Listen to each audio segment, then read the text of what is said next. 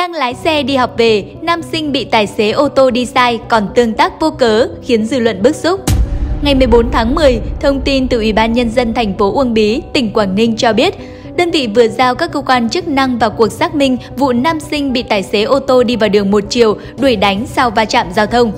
Theo thông tin ban đầu, vào khoảng 17 giờ ngày 14 tháng 10, trên đường Bùi Thị Xuân, phường Quang Trung, thành phố Uông Bí, một nam sinh đang điều khiển xe máy điện đúng phần đường của mình thì bất ngờ bị chiếc ô tô biển số 30K 9589 lao tới va chạm trực diện. Chiếc ô tô này đi sai hoàn toàn khi di chuyển vào đường một chiều, Đáng lẽ tài xế phải xuống xe, xem xét tình hình, hỏi han xin lỗi và đền bù thiệt hại cho cậu nam sinh. Thế nhưng tài xế lại mở cửa xe, lao tới đuổi nam sinh để tác động vật lý trước sự ngỡ ngàng của em này. Thậm chí, tài xế còn gấp gáp muốn tương tác cậu nam sinh đến nỗi xuống xe còn quên kéo phanh tay, khiến chiếc ô tô bị trôi đi, kéo lê chiếc xe điện gây hư hỏng thêm.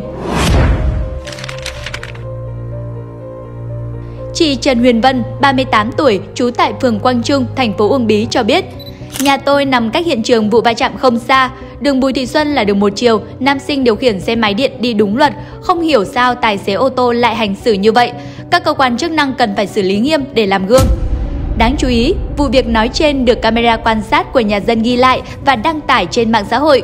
Ngay lập tức, dư luận tỏ ra bất bình trước hành xử thiếu chuẩn mực của nam tài xế nói trên và nhiều người đề nghị cơ quan chức năng vào cuộc xử lý nghiêm.